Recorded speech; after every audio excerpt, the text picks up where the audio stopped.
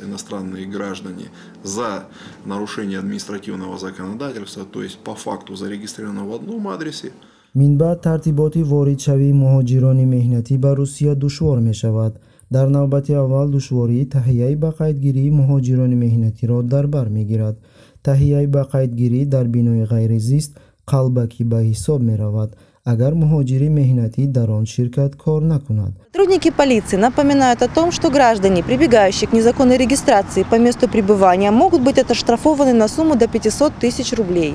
Альтернативой штрафу становятся исправительные работы или же лишение свободы сроком до трех лет.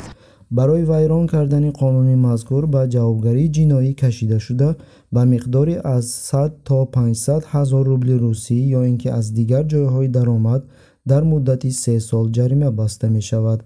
Яке аз ташаббускорони лоиҳаи қонуни мазкур исломофоби машҳур ноиби спикер ирина яровая мебошад.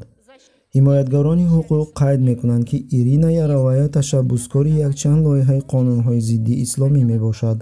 Аз ҷумла моддаи 205 қисми 5 кодекси ҷиноии федератсияи русия бо маҳрум сохтан аз озодӣ ба муҳлати аз 10 сол то як умра мебошад ки бинобар моддаи мазкур бо айбҳои бофташуда даҳҳо нафар шаҳрвандони тоҷикистон дар зиндонҳои русия адои ҷазо менамоянд.